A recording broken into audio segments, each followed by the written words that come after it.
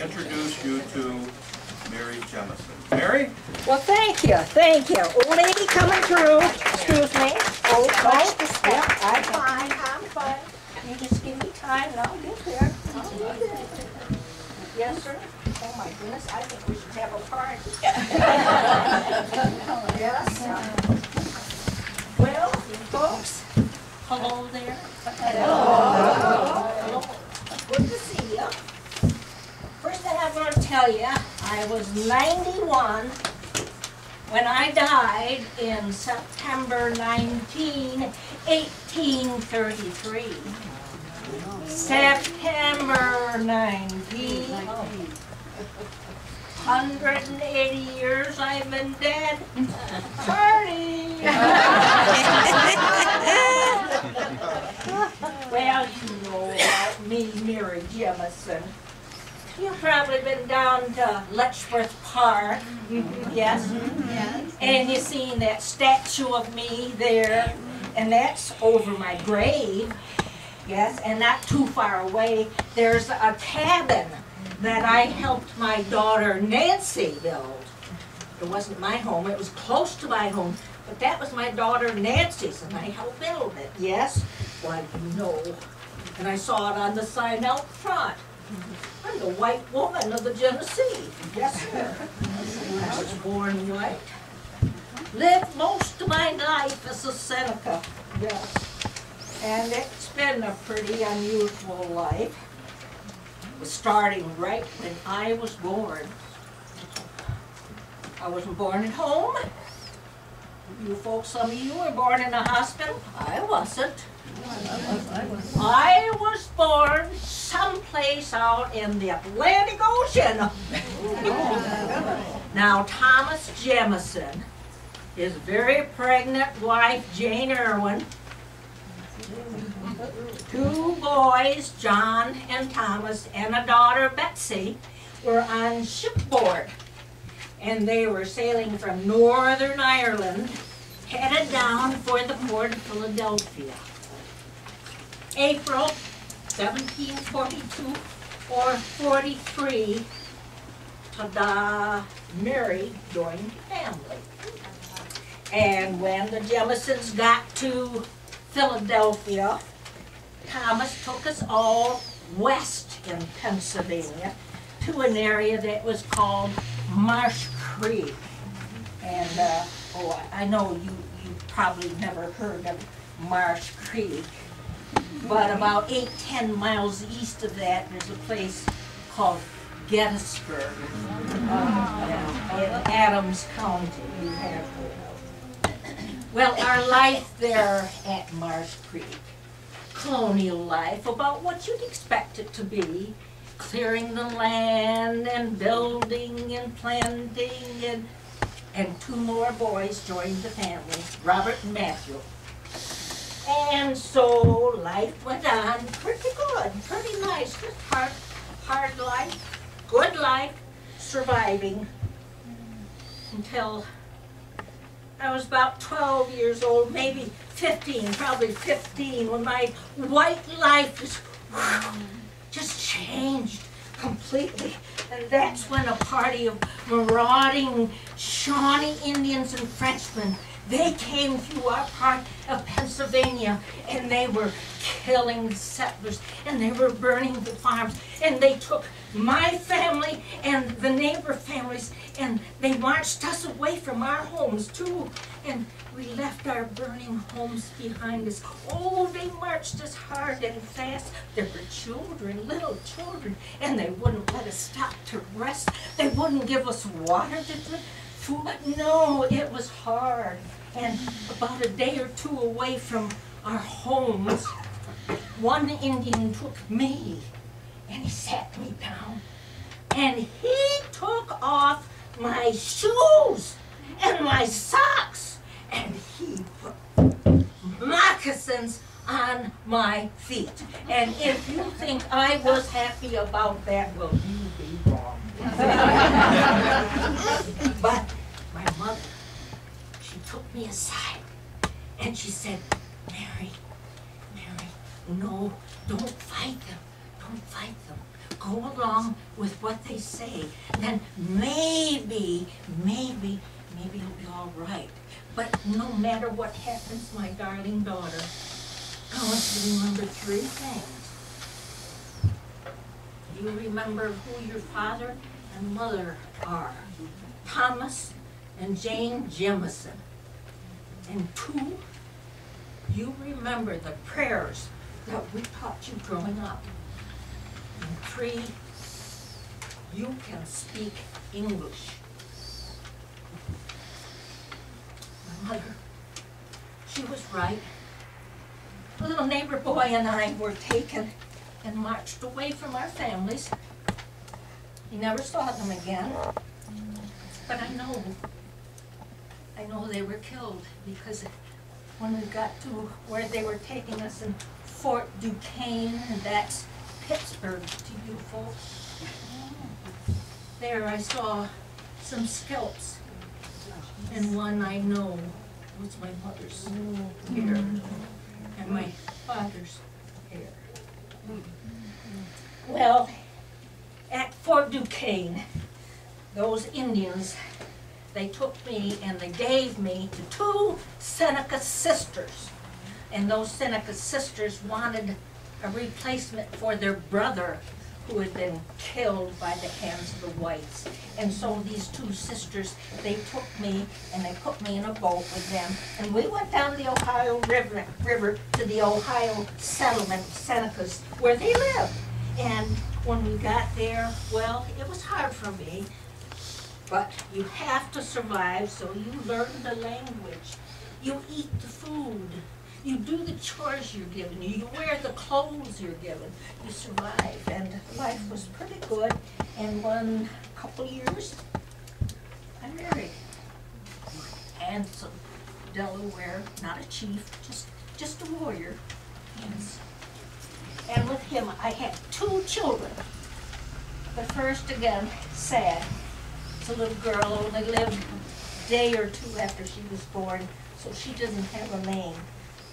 About a year later, though, I had a son, oh, beautiful son, and I named him Thomas in honor of my father.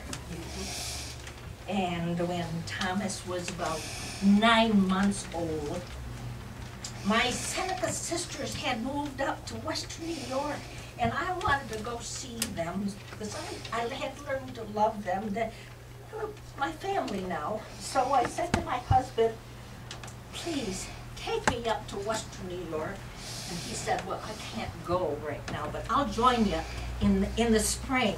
But take a couple of your Seneca brothers and you can go up and see your sisters, your family. So I Thomas my back. By canoe some, but mostly four or five hundred miles. Ended up in a place called Caneadea. Seneca settlement. Caneadea is a Seneca word. It means where the heavens rest upon the earth. Yes, and that Seneca town, Caneadea, is on a river called Genesee, which means pleasant banks, Seneca word. Well, we hadn't been there very long. Sadness again, I heard, got word that my husband, my handsome husband, had died and been killed. Well, I didn't have family, particularly at that point in Caneadea. So I packed up, put Thomas on my back again, and I started off for a place called Little Beardstown. Well, it's Cuylerville to you modern folks, Cuylerville. That's near Leicester, not too far from Geneseo. And, uh, oh, by the way, that statue you see of me in Letchworth Park, that's me going from Ohio settlement to you Thomas, Caneadea to Little Beardstown, Thomas on my back. Well, sisters were glad to see me. I was glad to see them. And I settled in, there wasn't any point to go back to the Ohio settlement. I had my family, my sisters. This was home, so I stayed. When I was twenty-five, happiness again. I married again. Seneca, chief, a chief. Well, yes, I, I have to say that, and I'm real proud of that. I think he was forty years older than I am. Oh, but he was a good husband to me and good father to the children. Now, I can't say what he was like when he went away to fight the British, or, I mean, the, the Americans, because he did. I didn't hear good things he fought. Mm. Well, anyway, with, with my Seneca chief, I had six children, two boys and four girls. I'd like to tell you just a little bit about them. Firstborn was a boy. I named him John, my brother. Nancy, Betsy, Irish sister, Polly, Jane, mother, last born, Jessie, and just a little bit more. Oh, by the way, of course, they had Seneca names, I did too, but you understand English, so. Now, Nancy and Betsy, when they were old enough, they married two Senecas with the last name of Green or Green Blanket. And they had many, many children. Polly married the son of Chief Shongo, who was a prominent chief in the Caneadea settlement. And we got a Shongo Road and up near mm. Wells, there's Shongo again. Him, yeah, yeah, him, chief. And they had many children. And then I'm going to skip to John, married a couple of women from the Shongo line, and he had many children. Jane died when she was about 15 or 16, didn't marry. And Jesse, my last born son, he never married. He was kind of special. I hate to say a mama's boy, but so, now, that's my family. Back to the history timeline. You call it the American Revolution. I know, you learned Concord, Lexington, seventeen seventy-five, mm-hmm. Washington. Didn't matter much to us there at Little Beardstown until seventeen seventy-nine. And then what a difference it made because that awful General John Sullivan came through with a Continental Army. And they were going through our part of western New York and their intention was to destroy the Iroquois Confederacy. And of course the Senecas are one of the tribes of the Iroquois Confederacy. And oh, when we knew they were coming, after the beginning, we heard word and how awful because they'd come into a village and, and anybody that stayed in the village, they killed old men, old women, babies, children. They were killed. And those they didn't kill, they intended would die because they burned the homes, destroyed the all of the homes. They burned the crops. They even burned the orchards, and they slayed all of the animals. There was not a thing left to eat to keep a person alive. Many of the Senecas went up to Fort Niagara, where the British would protect them and help them. But I, I, I took my family, we hid a long time in the woods. But after we knew it was safe, we came back and we settled in a place called Gardeau Flats. That's the way far north part of Letchworth Park, way down beyond Lower Falls, Gardeau Flats, down close to where they have the festival, you know, in October. Well, we settled there, we stayed for about fifty years, fifty years living. And that's pretty good. and pretty good also is after the Revolutionary War was over and the big tree treaty of seventeen ninety-seven, and that's at Geneseo, was signed. Take a look. I became a landowner. They gave me, gave me about seventeen thousand acres. Well, no, that's not right. It's really closer to eighteen thousand. Because it was seventeen thousand two hundred and ninety-seven acres, yes. Eight, eight.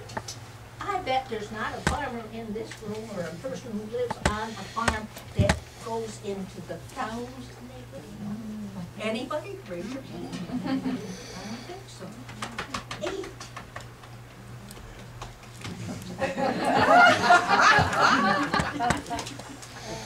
But on the bad side, I have to tell you some bad things. In those fifty years, the first is that my husband, the son of the chief, died. Hundred and two, three years old. Oh, tuberculosis. Sad, appropriate. procreate. The next. Is hard for me to tell you what next I had to. It's about my boys. John, firstborn, the second husband. He had a vile, vile temper. And when you put that with alcohol, a monster, a monster. And this monster son of mine, John, got in an argument with his half-brother Thomas, my first firstborn son. And in the course of that argument, John took a tomahawk and buried it in Thomas's brain, killing it. Thomas was only fifty-two years old. Wait, more. Short time later, Monster John argument with his own brother Jesse. Knife, seventeen, eighteen stabs. Jesse died at 26, 27. Two sons gone and three. Three, four years later, Monster John had a drunken brawl. This time, he was killed. My sons gone. No mother should outlive her children. Oh dear. I have to tell you that I even hurt. Well, jumping ahead, really biggie thing when I was 81 years old, 1823. Excuse me. 1823. There was a man, a literate man that lived in Genesee County, Pembroke. He was a doctor. He came over to Whaley's Tavern, which is just north of Castile. There's a sign in the cornfield when you go there. It says Whaley's Tavern close to. And I, he waited there at the tavern, and I walked the oh, four or five miles from our Gardeau Flats home, and I sat down with Mr. Seaver, Mr. James Seaver, and in English, I told him all about my life. White Seneca. And he wrote it down. And the next year, a book came out. And most of what you folks know about me is this book. You might say the narrative of Mary Jemison or the life of Mary Jemison. I was 81 years when I told him. I tried to be accurate. And there have been many editions. If you want to know about me. Well, that was wonderful. Because I'm still alive because of that book, I think. And then, 81 years old, getting close to, I knew, hard thing, but a good thing, I sold most of my land in the beautiful Genesee Valley. And I took much of my family away from home and went to our new home at Buffalo Creek, that's South Buffalo. Uh,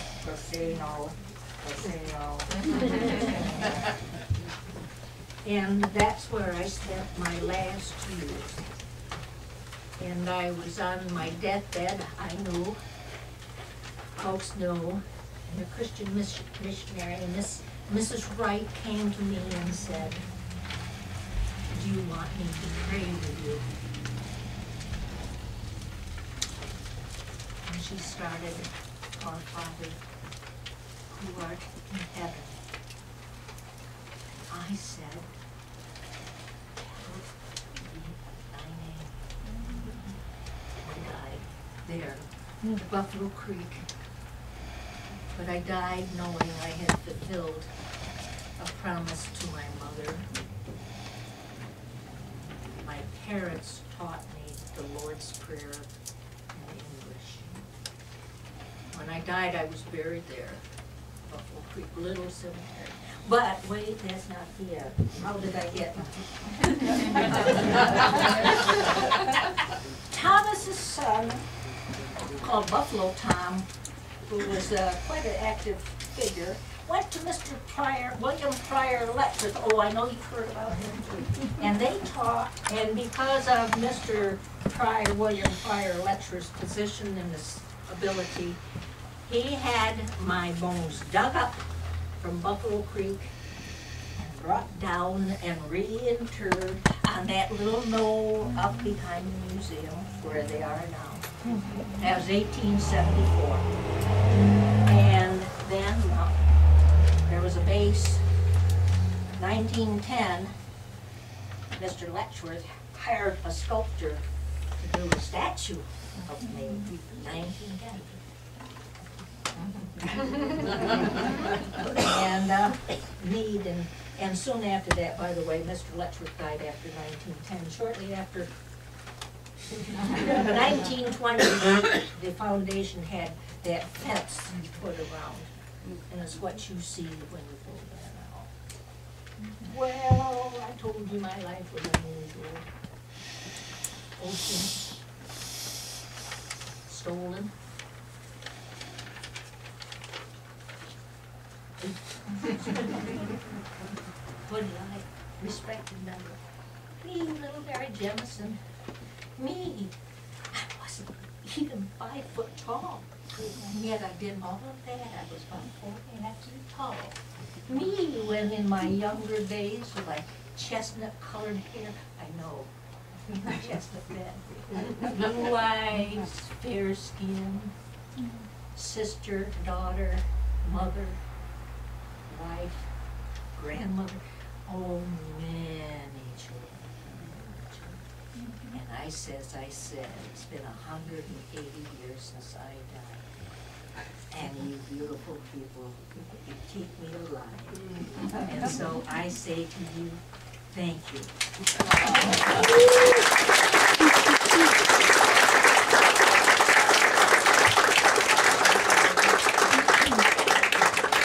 Thank you, Mary.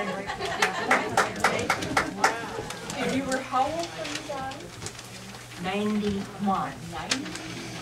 You have to know there's a little difference about, because it's seventeen forty-two or forty-three, it was probably about ninety, I say ninety-one rather than ninety, because it's, he deserves it. Thank you very much.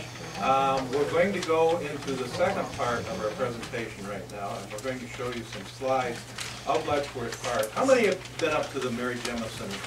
Okay, most of the room, great. Okay, well, just to remind you, we're going to show you some pictures of the uh, uh, Mary Jemison statuary um, before it was painted. It was painted in the last few years, painted black. And uh, some of the, and the- her uh, cabin is right beside the statue. So we'll go, uh, let's see, should we have the, with the door, so we, we could, uh, we close the door and the church can get a little, yep. Okay, okay, this is a, this is a statue of Mary, and uh, if you go walk around the statue, of course, you see the, uh, the baby on her back, and uh, the baby Thomas. And down at the base of this is, uh, uh, are her uh, remainders as they were uh, exhumed and transferred back to Letchworth. So Mary Jemison there. Okay? Okay, this is the mighty Genesee, which uh, Kay and I live beside. And uh, this is what, uh, what Mary would have, she would have uh, probably come up uh, the Allegheny, but gotten onto the Genesee. She certainly got onto the Genesee River before uh, she went to Caneadea. Okay? And there's the uh, Genesee in the, uh, in spring, summer, and it's- it was the winter. Now, um, the sign wasn't there, of course. Uh, Just for your reference, what does Caneadea mean in Seneca? Where the heavens meet. Where the heavens meet or rest on the earth, right. Okay. What's Genesee mean? Pleasant Banks. Pleasant Banks, right. And ultimately, she, she did not spend long in Caneadea, but ultimately, she would be in Letchworth Park. Of course, the bridge wasn't there. But uh, some dramatic things are happening today. That bridge is going to essentially be replaced. And uh, again, for another view of her statue at Letchworth. And this is the, um, this is the plaque um, on the statue. It Says to the memory of Mary Jemison, was home during more than 70 years of a life of strange vicissitude. I love that word. Uh, But that has to do with changes.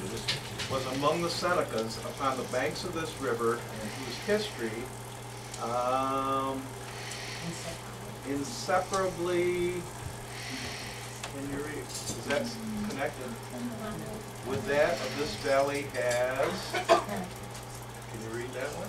Pause. Caused her to be known as The white. Genesee, right, okay. Open that. Too many people. This is the uh, cabin that uh, she and her daughter built, and it's there uh, right beside the, uh, the statuary at Letchworth. Now, was that built right there? No, No, it was probably built on the Gardeau Flats and moved up there. Yes. Okay. This is uh, the council house, and this was in Caneadea. And um, this was, uh, this was falling apart. William Pryor Letchworth heard about it, went to see it, and um, had it moved and rebuilt at Letchworth Park. And so it was uh, on Council House Road. Um, Council House Road is right off Route 19 as you go from Caneadea to Hope. And it's uh, on the right. And by the way, it's worth a trip. Uh, You go down a couple miles and uh, there's some more uh, monuments and so forth. And I'm going to tie that with something because, can you go back to the the cabin, to the Council House again? Uh, We're going to take just a little sidestep and talk about somebody else who was in Caneadea and somebody else who was honored at Letchworth Park, and that's Moses Van Campen. And Moses Van Campen was essentially an Indian fighter. He had seen his father and his brother murdered by the Senecas, and he had gotten away, and he spent most of the rest of his uh, experience in the Revolutionary War fighting against uh, um, the Iroquois. And he was captured at one point by the Senecas and brought here and um, in Caneadea, in front of this council house, and he was made to run the gauntlet. Uh, the Senecas didn't know whom they had captured. Um, if they had, they would have executed him. But he, uh, he didn't uh, say anything about it, and nobody recognized him. But what they did is they bound him and made him run between two lines of, uh, of Senecas who were armed with war clubs and tomahawks and knives and so forth. And um, he, uh, he was a pretty sharp guy. What he did was he ran so close to one side of the line of Indians that he uh, crowded their blows. And he was far enough from the other side that they couldn't reach him. And then towards the end, he saw two squaws down at the end of the line, and he jumped in the air and he kicked each of them aside. The uh, Senecas were so uh, amused by this that they, uh, they decided not to execute him. So they sent him up to Fort Niagara to be imprisoned, and um, a little later, some other Senecas came and said, you had Moses Van Campen and you let him get away? And uh, so they went after him, but by this time the British had him up in Fort Niagara and he eventually would escape. He would come back to this area and he would uh, become a surveyor for Philip Church and the uh, early settlers of Allegany County. His home is in Angelica. He did live in Almond at one time, but his uh, brick home is in Angelica. It's up from the cemetery. It's owned by Bill Hart, who has a jewelry store in Wallzo. And it's a beautiful home, uh, and it's all brick, and that's where Moses Van Camp, he had that built, and that's where he lived. He would eventually, I think, die in, maybe, now?